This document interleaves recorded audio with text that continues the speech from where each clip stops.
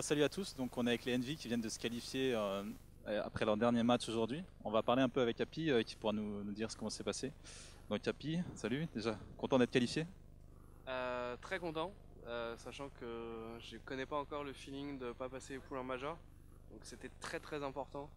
Et très content de passer en playoff et d'avoir une chance de continuer. Bah du coup, euh, tu viens de rebon- on peut rebondir là-dessus. Tu as évité à deux ex-titans, du coup, euh, une, énième désillusion. Donc euh, je pense que Apex et, Kenny pourront être contents.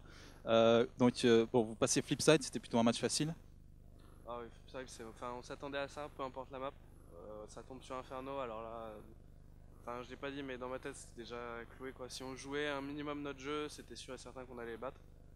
Et ils ont vraiment un style de jeu particulier qu'on sait contrer. Donc euh, vraiment, enfin, ils ont eu aucune chance quoi. Donc après, vous tombez contre les nouveaux LG, là, les ex, enfin, les ex Kaboom, Kitstar, les Brésiliens. Euh, tu, tu les connaissais un peu? Tu avais regardé un peu comment ils jouaient? Pas du tout. Euh, je regarde pas trop les équipes en fait. Je focus surtout sur notre jeu.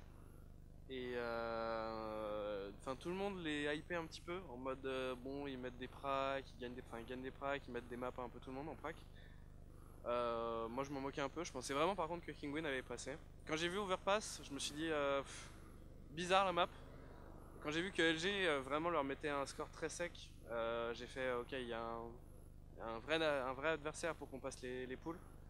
Et oui, surprise, surprise parce que enfin Cubble c'est une de nos maps assez fortes en ce moment. Je sais pas c'est quoi leur niveau dessus, mais là en tout cas ils ont montré quelque chose de très très impressionnant. On a aussi un peu chié de notre côté en étant honnête, euh, surtout un peu moins au niveau des, calls, c'est un peu trop lent à démarrer. Mais globalement, le match était globalement en main, sachant qu'on a fait 15-13 et qu'ils ont mis les deux derniers rounds pour l'overtime. Mais globalement, enfin voilà, c'est passé et on continue. Donc ouais, une fin difficile, mais au, au final vous vous qualifiez. Euh, comment tu vois la suite? Tu es confiant pour, le reste des matchs? Tu sens qu'il y a une bonne cohésion d'équipe, les nouvelles recrues s'intègrent bien, il n'y a pas de souci à ce niveau-là?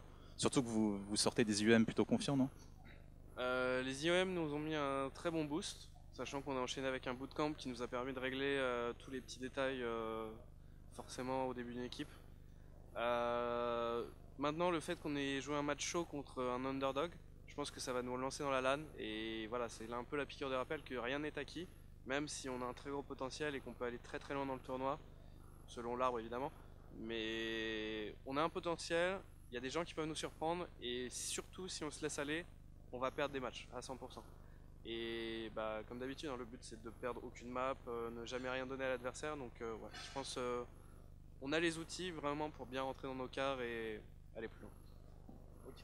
Donc là, si j'ai bien compris, vous avez au moins 24 heures là, pour vous reposer avant la suite des matchs ou, euh, Vous n'avez pas de match demain Euh, on n'a pas de match demain, on doit faire des vidéos vu que les quarts de finale sont des vidéos à faire, mais globalement demain c'est journée de repos.